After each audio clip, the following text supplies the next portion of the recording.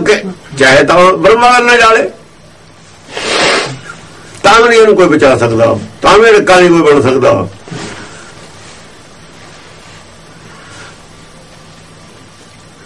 ਜੇ ਦੂਜੀ ਅੱਗ ਨਾਲ ਜਾਲੇ ਤਾਂ ਵੀ ਕੋਈ ਰੱਕਾ ਨਹੀਂ ਬਣ ਸਕਦਾ। ਹੁਣ ਇੰਨੀਆਂ ਜੂਨਾਂ ਚ ਦੂਜੀ ਅੱਗ ਤੇ ਜਾਲਿਆ ਹੋਇਆ ਜੀ। ਹਾਂਜੀ। ਉਹ ਖਸਮ ਹੀ ਬਚਾਊਗਾ। ਸੰਸਾਰੀ ਅੱਗ ਤੋਂ ਵੀ ਉਹ ਵੀ ਬਚਾਊਗਾ। ਫਿਰ ਦੂਜੀ ਅੱਗ ਨਾਲ ਜਾੜੂਗਾ ਦੂਜੀ ਅੱਗ ਨਾਲ ਤਾਂ ਸ਼ੁੱਧ ਕਰਨ ਵਾਸਤੇ ਜਾਲਦਾ ਉਹ।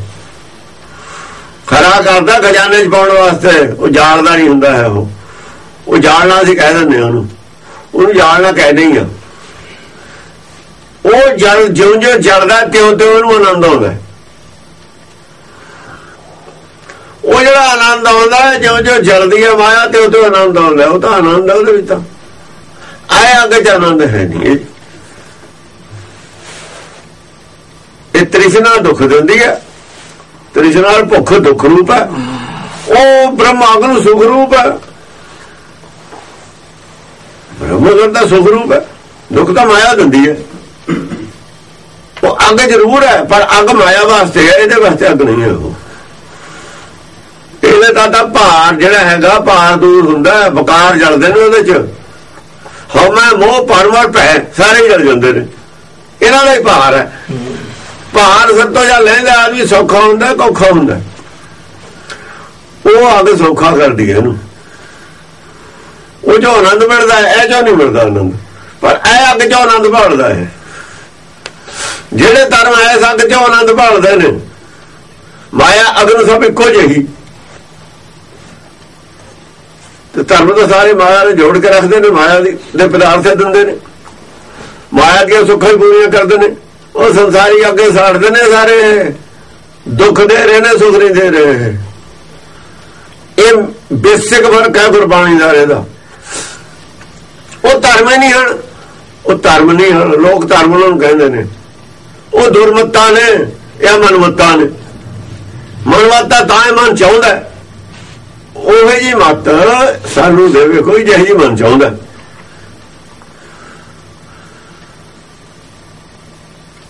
ਮਨ ਨੂੰ ਜਿਹੀ ਜੀ ਮਨ ਚਾਹੁੰਦਾ ਉਹ ਜੀ ਮਤ ਵੇਲੇ ਉਹਨੂੰ ਮਨਮਤ ਕਹਿੰਦੇ ਨੇ। ਜਿਹਨੇ ਬਣਾਈ ਹੈ, ਉਹਨੂੰ ਗਿਆਨ ਹੈ ਦੂਰ ਕਰਨ ਵਾਲਾ ਆਪਣੇ ਮੂਲ ਤੋਂ। ਅਸੱਚ ਦੁਰਮਤ ਹੈ ਉਹ। ਸੱਚ ਤੋਂ ਦੂਰੀ ਬਣਾਉਣ ਵਾਲੀ। ਮਾਇਆ ਨਾਲ ਜੋੜਨ ਵਾਲੀ ਸੁਖ ਤੋਂ। ਸੱਚ ਤੋਂ ਦੂਰੀ ਬਣਾਉਣੀ, ਸੁਖ ਸਾਗਰ ਤੋਂ ਦੂਰੀ ਬਣਾਉਣ ਵਾਲੀ। ਸੁਖ ਸਾਗਰ ਤੋਂ ਦੂਰੀ ਬਣਾਉ ਜੇ ਨਾ ਸੁਖ ਸਾਗਰ ਤੋਂ ਦੂਰ ਜਾਊ, ਦੁੱਖ ਸਾਗਰ 'ਚ ਜਾਊ। ਜਿੰਨਾ ਸੁਖ ਸਾਗਰ ਤੋਂ ਦੂਰ ਜਾਊ ਉਹਨਾਂ ਦੁੱਖਾਂ ਦੇ ਸਾਗਰ 'ਚ ਗਰਕ ਹੋ ਜੂ ਜਾ ਕੇ। ਉਹ ਦੂਜੀਆਂ ਮਤਾਂ ਸਾਰੀਆਂ ਸੁਖ ਸਾਗਰ ਤੋਂ ਦੂਰੀ ਬਣਾ ਕੇ ਰੱਖਣ ਵਾਲੀਆਂ ਨੇ। ਸੁਖ ਨਹੀਂ ਉਹਨਾਂ 'ਚ ਮਿਲ ਸਕਦਾ। ਆ ਜੋ ਕੁਝ ਅਸੀਂ ਮੰਗਦੇ ਆ ਸਿੱਖ, ਇਹ ਇੱਕ ਸੁਖ ਹੈ, ਮਾਇਆ ਸੁਖ ਹੈ ਕਿਤੇ? ਸਾਰੇ ਜਾਣਦੇ ਨੇ, ਸਾਰੀ ਗੁਰਬਾਣੀ ਤਾਂ ਕਹਿੰਦੀ ਹੈ। ਨਾਲੇ ਮੰਨਦੇ ਨੇ ਮਾਇਆ ਦੁੱਖ ਰੂਪ ਹੈ। ਮਾਇਆ ਅਗਨ ਸਭ ਇੱਕੋ ਜਿਹੀ ਨਾਲੇ ਬੜੀ ਜਾਂਦੇ ਨੇ, ਨਾਲੇ ਮੰਗੀ ਵੀ ਹੋਈ ਜਾਂਦੇ ਨੇ। ਮਨਮਤ ਐਸੀ ਹੁੰਦੀ ਹੈ। ਇਹਨੂੰ ਮਨਮਤ ਕਹਿੰਦੇ ਨੇ, ਕਿਉਂਕਿ ਮਨ ਦੇ ਮਤਲਬ ਦੀ ਮਤ ਹੈ। ਉਹ ਮਤ ਦਾ, ਉਸ ਮਤ ਦਾ ਪ੍ਰਚਾਰ ਜ਼ਿਆਦਾ ਹੁੰਦਾ ਹੈ, ਜਿਹਨੂੰ ਲੋਕ ਚਾਹੁੰਦੇ ਹੋਣ। ਜਿਹੜੀ ਮਨਮਤ ਹੋਵੇ, ਉਹਨੂੰ ਛੇਤੀ ਨਾਲ ਲੈਂਦੇ ਨੇ ਲੋਕ। ਹਰੇਕ ਮਨ ਦੇ ਮਤਲਬ ਦੀ ਗੱਲ ਹੁੰਦੀ ਹੈ ਉਹ ਜਿਹੜੀ ਮਨ ਦੇ ਖਿਲਾਫ ਗੱਲ ਹੋਵੇ, ਇਹ ਸਾਰੇ ਮਨਾਂ ਦੇ ਖਿਲਾਫ ਹੈ ਗੁਰਬਾਣੀ। ਕੋਈ ਐਸਾ ਮਨ ਨਹੀਂ ਜਿਹਦੇ ਖਿਲਾਫ ਨਾ ਹੋਵੇ। ਗੁਰਬਾਣੀ ਸੰਸਾਰੀ ਮਨ ਦੇ ਖਿਲਾਫ ਹੈ। ਜਿੰਨੇ ਸੰਸਾਰ ਦੇ ਲੋਕ ਨੇ, ਸਾਰਿਆਂ ਦੇ ਖਿਲਾਫ ਹੈ। ਤਾਂ ਹੀ ਭਗਤਾਂ ਦੇ ਸੰਸਾਰੀਆਂ ਜੋੜ ਨਹੀਂ ਆਇਆ ਕਦੇ। ਜੋੜ ਕੇ ਨਹੀਂ ਉਹਨਾਂ ਦੀ ਮਤ, ਇਹਨਾਂ ਦੇ ਫਿੱਟ ਇਹਨਾਂ ਦੀ ਮਤ ਉਹਨਾਂ ਦੇ ਫਿੱਟ ਕੋਈ ਗੱਲ ਨਹੀਂ ਰਲਦੀ ਜਿਹੜੀ ਇਸ ਵਕਤ ਪ੍ਰਚਾਰ ਹੋ ਰਿਹਾ ਨਾ। ਗੁਰਮਤ ਦੀ ਨਾਲ ਇੱਕ ਵੀ ਗੱਲ ਨਹੀਂ ਰਲਦੀ। ਅੱਜ ਦੇ ਪ੍ਰਚਾਰ ਦੀ ਰਲਾ ਕੇ ਦਿਖਾਵੇ ਕੋਈ ਕਿੱਥੇ ਰਲਦੀ ਹੈ। ਕਿਉਂਕਿ ਜੇ ਰਲੂਗੀ ਫਿਰ ਤਾਂ ਸਾਰੀ ਉਹ ਰਲੂਗੀ। ਜੇ ਰਲੂਗੀ ਸਾਰੀ ਉਹ ਰਲੂਗੀ ਨਹੀਂ ਰਲੂਗੀ ਮਾਸਾ ਜਿੰਨੀ ਵੀ ਨਹੀਂ ਰਲਦੀ। ਕਿਉਂਕਿ ਇੱਕ ਦਾ ਮੂੰਹ ਪੂਰਬ ਨੂੰ ਹੈ ਇੱਕ ਦਾ ਮੂੰਹ ਪੱਛਮ ਨੂੰ ਹੈ, ਰਲੂ ਕਿੱਥੇ ਜਾ ਕੇ? ਇੱਕ ਤਾਂ ਦੇਖਣਾ ਮਨ ਮੁਖ ਮੁੱਢੋਂ ਬੋਲੇ। ਪਹਿਲੇ ਸਟੈਪ ਤੋਂ ਭੁੱਲ ਗਿਆ। ਮੁੱਢੋਂ ਹੀ ਜਾਂ ਤੁਰਿਆ ਜਾਂਦੇ ਭੁੱਲ ਗਿਆ। ਮਨਮੁਖ ਮੁੱਢੋਂ ਬੋਲਿਆ ਵਿੱਚ ਲੱਭ ਲੋਭ ਹੰਕਾਰ। ਲੱਭ ਲੋਭ ਹੰਕਾਰ ਕਰਕੇ ਤਾਂ ਮੁੱਢੋਂ ਹੀ ਪਹਿਲਾ ਸਟੈਪ ਇਹਨੇ ਉਲਟੇ ਪਾਸੇ ਰੱਖੇ। ਜਿਹਨੇ ਸਟੈਪ ਦੂਏ ਪਾਸੇ ਰੱਖਦਾ ਰਿਹਾ, ਉਹਨਾਂ ਹੀ ਸੁਖ ਸੰਗਤ ਤੋਂ ਦੂਰ ਹੁੰਦਾ ਚਲਾ ਗਿਆ। ਤੇ ਉਹਨਾਂ ਦਾ ਮੇਲ ਕਿਵੇਂ ਹੋ ਜਾਊਗਾ? ਇੱਕ ਵੀ ਮਾਤਸਾ ਜਨੋ ਮੇਲ ਗੁਰਮਤ ਨਾਲ ਨਹੀਂ ਹੈਗਾ ਜੋ ਅਸੀਂ ਹੁਣ ਕਰ ਰਹੇ ਹਾਂ। ਦੱਸੋ ਕਿੱਥੋਂ ਮੇਲ ਹੈ? ਸਮਝਾ ਦੇਣ। ਕੁਝ ਵੀ ਮੇਲ ਨਹੀਂ। ਇਸ ਨਾਮੇਲ ਹੋਣ ਦਾ ਕਾਰਨ ਖੇਰੂ ਖੇਰੂ ਹੋ ਗਏ ਸਾਰੇ ਉਹ ਜੀ ਪੋਜੀਸ਼ਨ ਬਣਦੀ ਜਾਂਦੀ ਹੈ, ਜੈ ਜੀ। ਮੁਹੰਮਦ ਗੌਰੀ ਵੇਲੇ ਹਿੰਦੁਸਤਾਨ ਦੀ ਪੋਜੀਸ਼ਨ ਸੀ ਨਾ। ਸਾਰੇ ਫਟੇ ਹੋਏ ਤੇ ਸਿੱਖਾਂ ਦੀ ਪੋਜੀਸ਼ਨ ਇਹ ਜੀ ਹੁੰਦੀ ਜਾਂਦੀ ਹੈ। ਕਿਉਂ ਮਾਇਆਧਾਰੀ ਹੋ ਗਏ ਸਾਰੇ? ਹੀ। ਜਿੱਥੇ ਇੰਟਰਸਟ ਹੋ ਸੈਲਫ ਇੰਟਰਸਟ ਉੱਥੇ ਲੜਾਈ ਹੋਊਗੀ ਸੈਲਫ ਇੰਟਰਸਟ ਝਗੜੇ ਦੀ ਜੜ ਹੈ। ਸੈਲਫ ਇੰਟਰਸਟ ਹੈ ਨਾ ਜੀ ਸਿਆਸਤ ਦੇ ਵਿੱਚ ਹੁੰਦਾ ਹੀ ਸੈਲਫ ਇੰਟਰਸਟ ਆਪਣਾ ਆਪਣਾ ਹਿੱਤ। ਜਿੱਥੇ ਆਪਣਾ ਆਪਣਾ ਹਿੱਤ ਆ ਗਿਆ, ਉੱਥੇ ਕਲੈਕਟਿਵ ਹਿੱਤ ਰਹਿੰਦਾ ਹੀ ਨਹੀਂ ਹੁੰਦਾ। ਸੰਗਤ ਦਾ ਹਿੱਤ ਉੱਥੇ ਹੁੰਦਾ ਹੀ ਨਹੀਂ। ਸੰਗਤ ਦੇ ਹਿੱਤ ਦਾ ਹੋਕਾ ਹੈ। ਹੋਕਾ ਜ਼ਰੂਰ ਹੈ ਸੰਗਤ ਦੇ ਹਿੱਤ ਦਾ। ਸੇਵਾ ਦਾ ਹੋਕਾ ਹੈ। ਸਵਾਰਥ। ਹੋਕਾ ਸੇਵਾ ਦਾ ਹੈ ਸਵਾਰਥ। ਅਸਲ ਗੱਲ ਸਵਾਰਥ ਹੈ, ਹੋਕਾ ਸੇਵਾ ਦਾ ਉਹ ਤਾਂ ਮੂੰਹ ਦੇ ਵਿੱਚ ਹੀ ਹੈ, ਸੇਵਾ ਸੇਵਾ। ਜਿਨ ਮਨ ਹੋਰ ਮਨ ਦੇ ਵਿੱਚ ਸਵਾਰਥ ਹੈ, ਮੂੰਹ ਦੇ ਵਿੱਚ ਸੇਵਾ।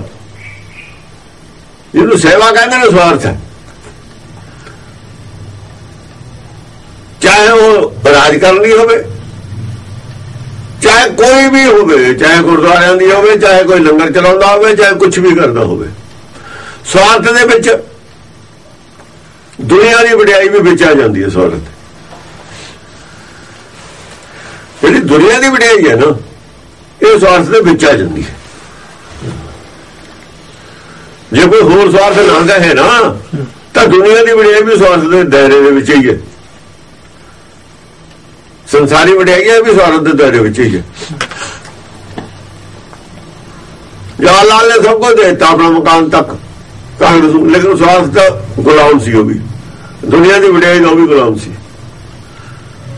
ਉਹ ਜਾ ਜਾ ਕਰ ਹੋ ਇਹ ਕਮਜ਼ੋਰੀ ਸੀ ਕੁਝ ਇਸ ਕਮਜ਼ੋਰੀ ਕਰਕੇ ਸਭ ਕੁਝ ਹੋਇਆ। ਇਸ ਕਮਜ਼ੋਰੀ ਕਰਕੇ ਇੰਨੇ ਅਮੀਰ ਅਮੀਰ ਹੋ ਗਏ। ਇਸ ਕਮਜ਼ੋਰੀ ਦਾ ਹੀ ਕਾਰਨ ਸੀ ਕਰਪਸ਼ਨ ਨਹੀਂ ਹਟਾ ਸਕਿਆ।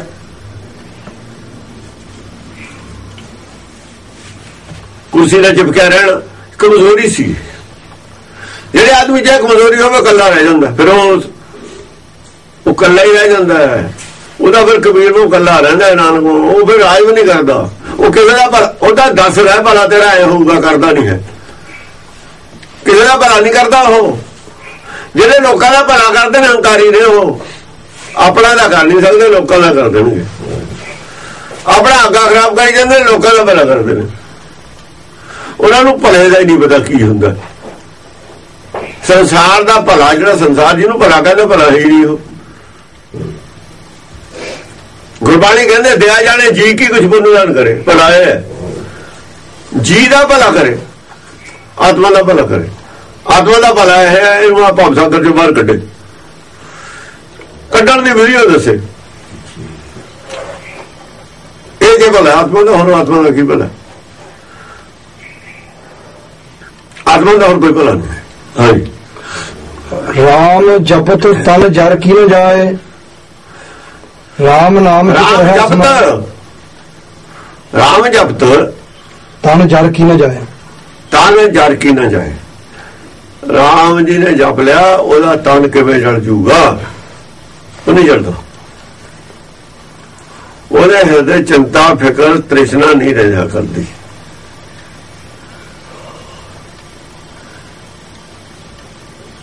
ਉਹ ਨਹੀਂ ਜਲਦਾ ਹੁੰਦਾ। ਐਂ ਤੇ ਅਰਥ ਹੋਣਗੇ ਰਾਮ ਜਪਤ ਤਨ ਜਰ ਕੀ ਜਾਏ ਜਪੋ ਹੁੰਦਾ ਨਾ ਇੱਥੇ ਜਪਤ ਦੀ ਜਗ੍ਹਾ। ਜਪਤ ਉਹਦਾ ਜਪ ਲਿਆ ਇਹ ਤਾਂ ਪਰਫੈਕਟ ਟੈਂਸ ਲੱਗ ਗਿਆ ਨਾ। ਅਸਲ ਦੇ ਵਿੱਚ ਗੱਲ ਇਹ ਹੈ ਰਾਮ ਜਪੋ ਤਾਂ ਜਰ ਵੀ ਭਾਈ ਰਾਮ ਜਪ ਲੋ ਤਾਂ ਕਿ ਤੁਹਾਡਾ ਹਿਰਦਾ ਜਲੇ ਜਲਣ ਤੋਂ ਬਚ ਜਵੇ। ਜਿਹੜੀ ਹੋਰ ਬੁੱਧੀ ਹੈ ਕੋਈ ਵੀ ਬੁੱਧੀ ਹੋਵੇ ਬੁੱਧੀ ਅੱਗ ਚ ਪਾਈ ਜਾਂਦੀ ਹੈ। ਪਿੱਛੇ ਆਇਆ ਸੀ। ਬੁੱਧੀ ਰਾਮ ਜਪੇ ਤੇ ਬਿਨਾਂ ਅੱਗ ਚ ਪਾਈ ਹੋ ਜਾਣੀ ਹੈ। ਚਾਹੇ ਤਾਂ ਪਹਿਲਾਂ ਆਪ ਪਾ ਲਓ। ਇਹਨੇ ਤਾਂ ਆਪ ਪਾ ਲਈ ਪਹਿਲਾਂ ਹੀ। ਪਰਦੇਸੀ ਕਾ ਘਾਗਰੇ ਗਿਆਨ ਪ੍ਰਚੰਡ ਕਰ ਲਿਆ ਆਪਣਾ। ਆਪਣਾ ਵਿਗਿਆਨ ਪ੍ਰਚੰਡ ਕਰੇ ਤੇ ਬੁੱਧੀ ਉਸਾਰਨੀ ਹੈ। ਉਹ ਤੇ ਸਾੜਨੀ ਮੈਲ, ਅਗਿਆਨਤਾ। ਬੁੱਧੀ ਦੀ ਅਗਿਆਨਤਾ ਹੀ ਸਾੜਨੀ ਹੈ। ਮਨ ਦੀ ਖੋਟ ਹੈ ਸਾੜਨੀ ਹੈ। ਚਾਹੇ ਆਪ ਸਾੜ ਲਓ ਨਹੀਂ ਅਗਲੇ ਸਾੜਨਗੇ ਇਹ ਸਾੜਨੀ ਸਾੜਨੀ। ਜਿਹਨੇ ਰਾਮ ਜਪ ਲਿਆ ਉਹਦਾ ਨਹੀਂ ਫਿਰ ਸਾੜਿਆ ਜਾਂਦਾ ਸਾਡਾ ਉਹਦਾ ਸਾੜਾ ਪਹਿਲਾਂ ਹੀ ਮੁੱਕ ਜਾਂਦਾ। ਰਾਮ ਜਪਣਾ ਹੀ ਤਨ ਨੂੰ ਆਪਣੇ ਖੋਟ ਨੂੰ ਸਾੜਨਾ ਹਾਂਜੀ ਰਾਮ ਨਾਮ ਚਿਤ ਰਹਿਆ ਸਮਾਏ ਕਿਉਂਕਿ ਉਹਦਾ ਰਾਮ ਨਾਮ ਦੇ ਵਿੱਚ ਚਿੱਤ ਸਮਾਇਆ ਰਹਿੰਦਾ ਹੈ। ਜਿਹੜਾ ਰਾਮ ਦੇ ਵਿੱਚ ਸਮਾਇਆ ਹੋਇਆ ਚਿੱਤ ਹੈ ਉਹਨੂੰ ਸੇਕ ਕਿਵੇਂ ਲੱਗੂਗਾ? ਤੇ ਰਾਮ ਨੂੰ ਲੱਗੂ ਸੇਕ ਉਹਨੂੰ ਤਾਂ ਲੱਗਦਾ ਨਹੀਂ। ਰਾਮ ਨਾਮ ਚਿੱਤ ਰਹਿਆ ਸਮਾਏ ਰਾਮ ਨਾਮ ਦੇ ਵਿੱਚ ਚਿੱਤੋਂ ਦਾ ਸਮਾਇਆ ਰਹਿੰਦਾ ਇਸ ਕਰਕੇ ਉਹਦਾ ਤਾਂ ਨਹੀਂ ਜਲਦਾ। ਉਹਨੂੰ ਜਾਣਨ ਦੀ ਲੋੜ ਉਹ ਜਲ ਕੇ ਹੀ ਪਹਿਲਾਂ ਜਾਲ ਕੇ ਹੀ ਤਾਂ ਸਮਾਇਆ ਹੋ! ਉਹ ਤਾਂ ਪਹਿਲਾਂ ਜਾਲ ਕੇ ਹੀ ਸਮਾਇਆ ਉਹਨੂੰ ਨਹੀਂ ਜਾਣਨ ਦੀ ਲੋੜ ਹੁੰਦੀ ਫਿਰ ਬਾਅਦ ਚ। ਉਹਨੂੰ ਜਿਹੜਾ ਆਪ ਮਰ ਗਿਆ, ਉਹਨੂੰ ਜਮ ਕੀ ਮਾਰਨਾ ਹੋਊਗਾ? ਜਿਹੜਾ ਜਿਉਂਦਾ ਹੀ ਮਰ ਗਿਆ, ਉਹਨੂੰ ਮਾਰਨ ਦੀ ਕੀ ਲੋੜ ਹੈ? ਤਾਂ ਹੀ ਕਹਿੰਦਾ, ਫਰੀਦ ਇਜ਼ਰਾ ਇਲ ਫਰੇਸਤਾ ਕਿਆ ਕਰਨਾ ਠੀਆ ਜੇ ਕਹਿੰਦਾ ਮੇਰੇ ਘਰ ਨੂੰ ਕਾਸ ਨੂੰ ਆਊਗਾ, ਮੇਰੇ ਕੋਲ ਨੂੰ ਕਾਸ ਨੂੰ ਆਊ ਨਠਿਆ, ਮੈਂ ਤਾਂ ਪਹਿਲੇ ਹੀ ਮਰਿਆ ਪਿਆ ਉਹ ਤਾਂ ਉੱਥੇ ਕਹਿੰਦਾ, ਜਿਹੜਾ ਮਰਦਾ ਨਹੀਂ ਕਹਿੰਦਾ ਮੈਂ ਨਹੀਂ ਛੱਡਦਾ ਸਰੀਰ ਨੂੰ। ਉਹ ਪੁਲਿਸ ਤਾਂ ਹੀ ਜਾਂਦੀ ਹੈ ਜੇ ਕੋਈ ਕਿਰਾਏਦਾਰ ਖਾਲੀ ਨਹੀਂ ਕਰਦਾ ਮਕਾਨ ਨੂੰ।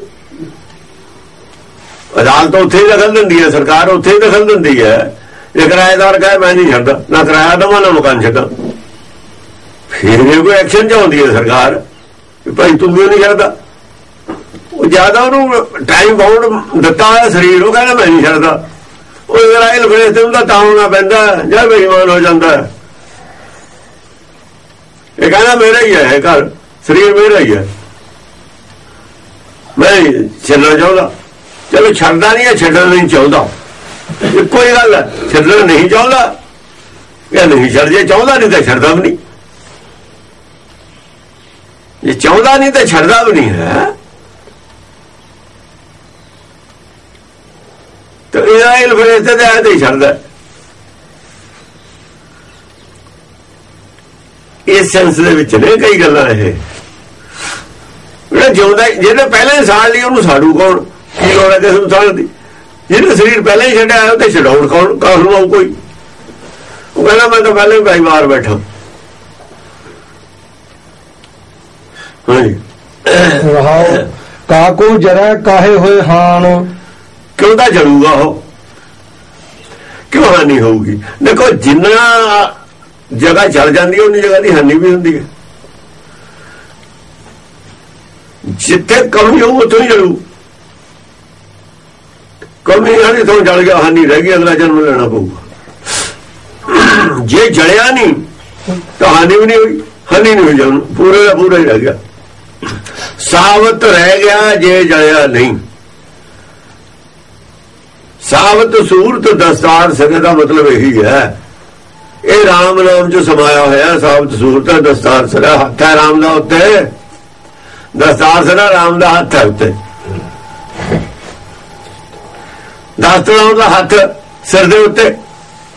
ਦਸਤਾਰ ਸਰਾ ਸਿਰ ਦੇ ਉੱਤੇ ਹੱਥ ਹੈ ਵੇ ਛਤਰ ਹੈ ਸਿਰ ਦੇ ਉੱਤੇ ਰਾਮ ਦਾ। ਰਾਮ ਦਾ ਹੱਥੇ ਛਤਰ ਹੈ ਗਰੀਬ ਨਵਾਜ਼ ਗਸਈਆ ਮੇਰਾ ਮਾਥਾ ਹੀ ਛਤਰ ਉਹਦਾ ਹੱਥ ਰੱਖਿਆ ਉਹੀ ਛਤਰ ਹੈ ਹਾਂਜੀ।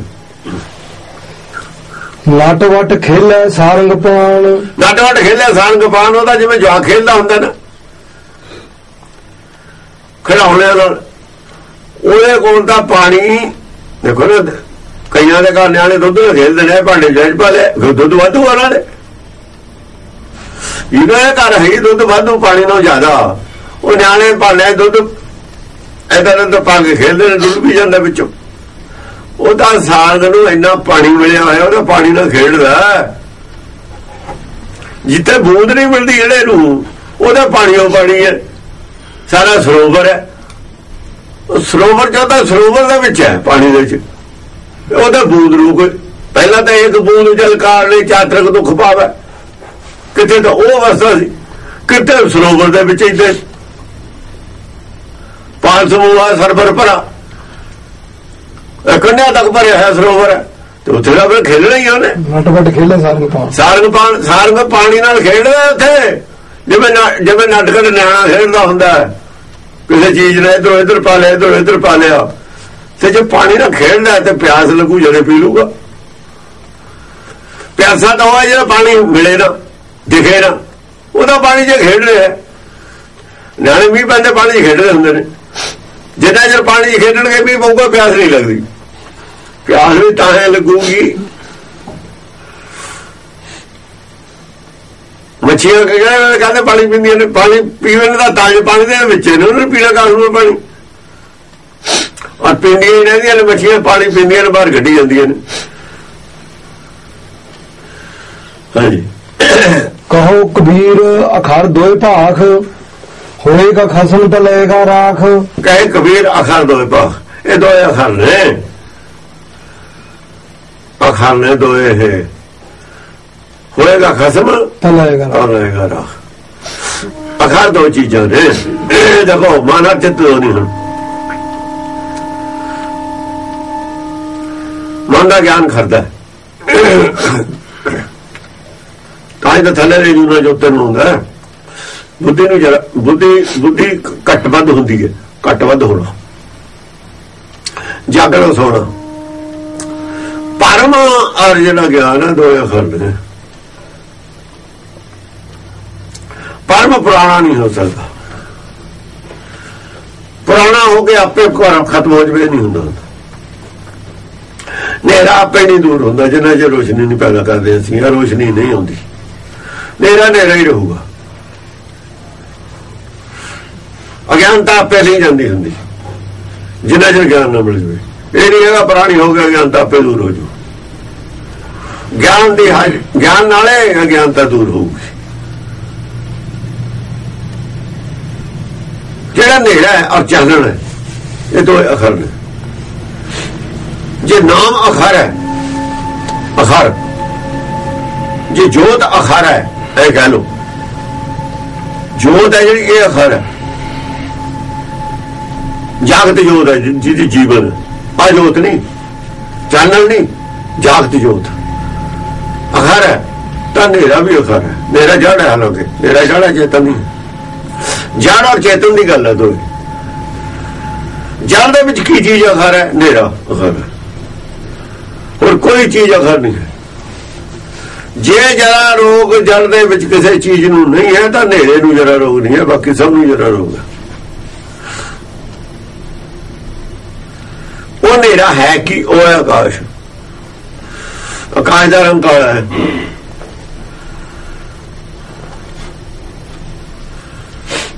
ਹਿਰਦੇ ਨੂੰ ਤਾਂ ਆਕਾਸ਼ ਕਿਹਾ ਤਾਂ ਹੀ। ਆਕਾਸ਼ ਦਾ ਪੂਰਾ ਜਿਹੜਾ ਆਕਾਸ਼ ਹੈ ਪੂਰੇ ਵਿੱਚ ਚਾਨਣ ਨਹੀਂ ਹੈ।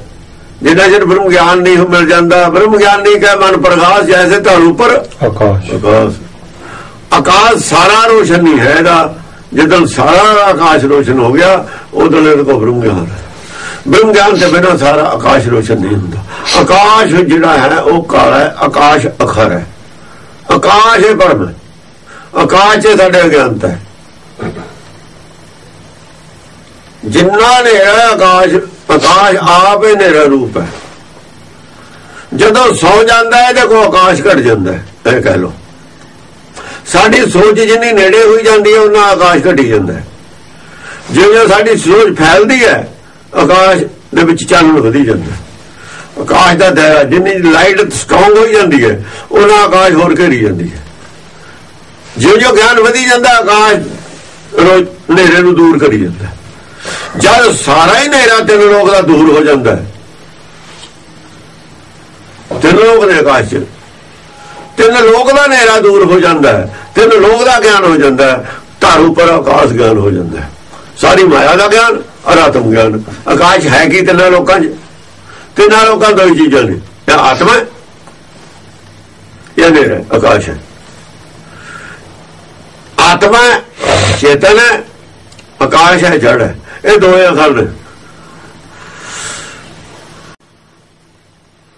ਇਹ ਦੋਵੇਂ ਅਖਰ ਨੇ।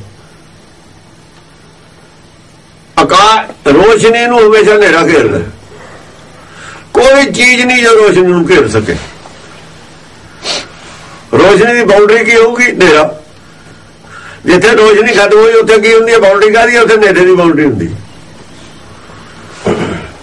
ਇਵੇਂ ਸਾਡਾ ਜਿੱਥੇ ਗਿਆਨ ਖਤਮ ਹੁੰਦਾ, ਉੱਥੇ ਆਉਣ ਵਾਲੇ ਅਗਿਆਨਤਾ ਦੀ ਬਾਉਂਡਰੀ ਹੁੰਦੀ ਹੈ। ਜਿੱਥੇ ਗਿਆਨ ਖਤਮ ਹੋ ਗਿਆ ਸਾਡਾ, ਉੱਥੇ ਆਉਣ ਦੁਆਲੇ ਬਾਉਂਡਰੀ ਕਾਦੀ ਅਗਿਆਨਤਾ ਦੀ? ਉਹ ਜਗ੍ਹਾ ਦਾ ਗਿਆਨ ਨਹੀਂ ਸਾਨੂੰ ਜਿੱਥੇ ਸਾਡੀ ਰੋਸ਼ਨੀ ਰੋਸ਼ਨੀ ਨਹੀਂ ਪਈ। ਤਿੰਨ ਲੋਕ ਦੇ ਗਿਆਨ ਤੋਂ ਬਾਅਦ ਤਾਰੂ ਪਰ ਆਕਾਸ਼ ਵਾਲੀ, ਤਾਰੂ ਪਰ ਆਕਾਸ਼ ਹੈ ਫਿਰ। ਉਦੋਂ ਕਹਾਂ ਦਾ ਗਿਆਨ ਹੈ ਨਹੀਂ ਸਾਨੂੰ ਫਿਰ ਵੀ। ਤਿੰਨ ਲੋਕ ਦਾ ਥੋੜੀ ਜਿਹੀ ਜਗ੍ਹਾ ਦਾ ਗਿਆਨ ਹੈ ਫਿਰ ਵੀ। ਤਿੰਨ ਲੋਕ ਦਾ ਗਿਆਨ ਵੀ ਥੋੜੀ ਜਿਹੀ ਜਗ੍ਹਾ ਦਾ ਗਿਆਨ ਹੈ। ਉਹ ਤੋਂ ਬਾਹਰ ਕੀ ਹੈ? ਉਹ ਤੋਂ ਬਾਹਰ ਤਿੰਨ ਲੋਕ ਪੈਦਾ ਕਰਨ ਵਾਲਾ ਸਿਲਸਿਲਾ ਹੈ। ਉਹ ਤੋਂ ਬਾਹਰ ਵਾਲੇ ਨੇ ਤਿੰਨ ਲੋਕ ਪੈਦਾ ਕੀਤੇ ਨੇ। ਉਹ ਫਿਰ ਬਾਅਦ ਦੀ ਗੱਲ ਹੋ ਗਿਆ ਉੱਥੇ ਜਾ ਕੇ ਹੁੰਦਾ ਰਹੂਗਾ। ਉਹ ਜਾ ਕੇ ਉੱਥੇ ਹੁੰਦਾ ਰਹੂਗਾ। ਇੱਥੇ ਤਾਂ ਸਾਨੂੰ ਇਹੀ ਹੈ ਵੀ ਤੈਨੂੰ ਜਿਹੜਾ ਸਾਡੇ ਸਾਹਮਣੇ ਜਿੱਥੇ ਅਸੀਂ ਰਹਿੰਦੇ ਆ ਇੱਥੇ ਦਾ ਗਿਆਨ ਚਾਹੀਦਾ ਸਾਨੂੰ ਅਗਲਾ ਗਿਆਨ ਤਾਂ ਫਿਰ ਬਾਅਦ ਸ਼ੁਰੂ ਹੋਊਗਾ। ਉੱਥੇ ਵੀ ਸੈਰ ਕਰਨੀ ਪਊ, ਤੇ ਤੂੰ ਸੈਰ ਕਰੇ ਜੋ ਭਾਵਾ ਉੱਥੇ ਫਿਰ ਜਾ ਕੇ ਦੇਖਣਾ ਪਊ। ਜਿਹੜਾ ਹੈ ਨਾ ਆ ਕਿਉਂ ਹੁੰਦਾ? ਪੈਟਰੋਲ ਕਿਉਂ ਜਲਦਾ, ਪਾਣੀ ਕਿਉਂ ਨਹੀਂ ਜਲਦਾ? ਇਹ ਕਿਉਂ ਦਾ ਜਵਾਬ ਉੱਥੇ ਹੈ ਫਿਰ? ਪੈਟਰੋਲ ਕਿਉਂ ਜਲਦਾ ਪਾਣੀ ਕਿਉਂ ਨਹੀਂ ਜਲਦਾ? ਇਹ ਕਿਉਂ ਦਾ ਜਵਾਬ ਤਾਂ ਫਿਰ ਗਾਹਾਂ ਸਾਡੇ ਕੋਲ ਤਾਂ ਹੈ ਨਹੀਂ। ਭਾਈ ਕੁਦਰਤ ਨੇ ਬਣਾਇਆ ਪੈਟਰੋਲ ਜਲਣ ਵਾਲੀ ਚੀਜ਼ ਹੈ। ਪਾਣੀ ਨਹੀਂ ਜਲਣ ਵਾਲੀ ਚੀਜ਼।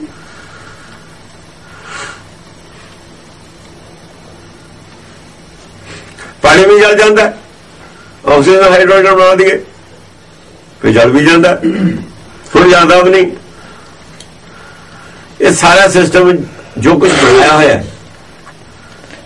ਇਹਦਾ ਭੇਦ ਫਿਰ ਗਾਹਾਂ ਉਹਨਾਂ ਕੋਲ। ਹੋਏਗਾ ਖਸਮ ਤੇ ਲਏਗਾ ਰਾਖ। ਹੋਏਗਾ ਖਸਮ ਲਏਗਾ ਰਾਖ। ਇੱਥੇ ਦੋ ਚੀਜ਼ਾਂ ਅਖਰ ਨੇ ਮਾਇਆ ਵੀ ਅਖਰ ਹੈ। ਜਿਹਨੂੰ ਅਸੀਂ ਮਾਇਆ ਕਹਿੰਦੇ ਹਾਂ ਨਾ ਉਹ ਅਖਰ ਹੈ। ਮਾਇਆ ਵੀ ਹਮੇਸ਼ਾ ਰਹਿੰਦੀ ਹੈ ਪੁਰਾਣੀ ਨਹੀਂ ਹੁੰਦੀ ਹੈ ਖਤਮ ਨਹੀਂ ਹੁੰਦੀ। ਮੰਨਦੀ ਹੈ ਵੀ ਕੁਝ ਵੀ ਚੀਜ਼ ਡਸਟਰਾਏ ਨਹੀਂ ਹੁੰਦੀ ਸੰਸਾਰ 'ਚ ਖਤਮ ਹੀ ਨਹੀਂ ਹੁੰਦੀ। ਚੇਂਜ ਆਫ ਸਟੇਟ ਹੀ ਹੈ ਨਾ। ਪਾਣੀ ਹੈ ਪਾਣੀ ਤੋਂ ਭਾਪ ਬਣ ਗਿਆ ਕਦੇ ਬਣ ਬਣ ਗਿਆ ਕਦੇ ਪਾਣੀ ਬਣ ਗਿਆ। ਹੈ ਤਾਂ ਪਾਣੀ ਹੈ ਤਾਂ ਉਹੀ ਚੀਜ਼ ਰਹਿੰਦੀ ਤਾਂ ਹੈ ਨਾ। ਮਾਇਆ ਬ੍ਰਹਮ ਰਵੈ ਸਦ। ਸੰਗ ਬ੍ਰਹਮ ਔਰ ਮਾਇਆ ਦੋਏ ਅਖਰ ਨੇ।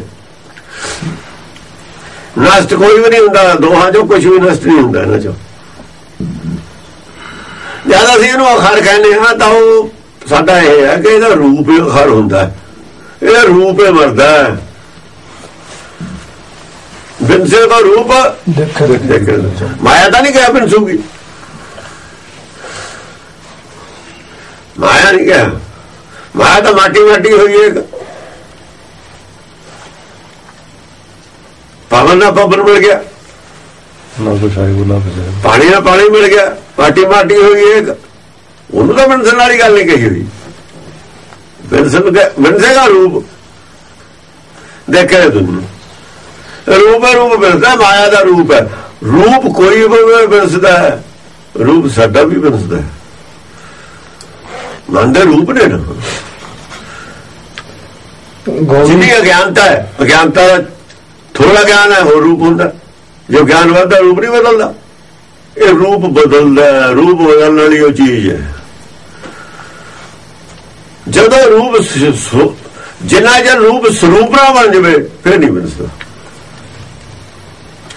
ਸਰੂਪ ਨੂੰ ਨਹੀਂ ਕਿਹਾ ਵੰਸੇ ਕੋ ਸਰੂਪ ਵੰਸੇ ਕੋ ਰੂਪ। ਰੂਪ ਝੂਠਾ ਹੁੰਦਾ ਸਰੂਪ ਸੱਚਾ ਹੁੰਦਾ ਹੈ। ਮਨ ਤੂੰ ਜੋਤ ਸਰੂਪ ਹੈ। ਸਰੂਪ ਨਹੀਂ ਮਿਲ ਜਾਂਦਾ ਕਦੇ ਵੀ ਖਤਮ ਹੁੰਦਾ। ਰੂਪ ਕਦਮ ਹੁੰਦਾ ਗੌਰੀ ਕਬੀਰ ਜੀ। ਰੂਪ ਬਦਲਣ ਵਾਲੀ ਚੀਜ਼ ਹੈ। ਸਰੂਪ ਤੱਕ ਬਦਲਦਾ ਰਹਿੰਦਾ, ਜਾਂ ਸਰੂਪ ਹੋ ਜਾਂਦਾ ਸਵੈਮ ਦਾ ਰੂਪ ਹੋ ਜਾਂਦਾ ਫਿਰ ਨਹੀਂ ਬਦਲਦਾ। ਹਾਲੇ ਮਾਇਆ ਦਾ ਰੂਪ ਹੈ ਇਹ। ਆਪਣੇ ਸਰੀਰ ਦੇ ਰੂਪ ਨੂੰ ਆਪਣਾ ਰੂਪ ਸਮਝਦਾ। ਇਹ ਤਾਂ ਮਾਇਆ ਦਾ ਰੂਪ ਹੈ। ਇਹ ਬਦਲੂਗਾ। ਇਹ ਬਦਲੂਗਾ। ਇਹਦੀ ਸੁੰਦਰਤਾ ਬਦਲੂਗੀ। ਕਿੱਥੇ ਤੱਕ ਬਦਲੂਗੀ? ਸ਼ਾਮ ਸੁੰਦਰ ਤੱਕ ਬਦਲੂਗੀ।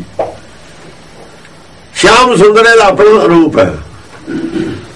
ਸ਼ਾਮ ਸੁੰਦਰ ਦਾ ਸਵੈਮ ਦਾ ਰੂਪ ਹੈ। ਸਰੀਰ ਦਾ ਰੂਪ ਨਹੀਂ ਹੈ। ਤਾਂ ਇਹ ਕਹਿੰਦੇ, ਨੀਂਦ ਕਿਉਂ ਆਈ? ਸ਼ਾਮ ਸੁੰਦਰਤਾ ਜੀ ਨੀਂਦ ਕਿਉਂ ਆਈ? ਆ ਸਰੀਰ ਨਾਲ ਜੁੜ ਕੇ ਆਈ ਹੈ, ਨੀਂਦ ਤਾਂ ਆਉਂਦੀ ਹੈ।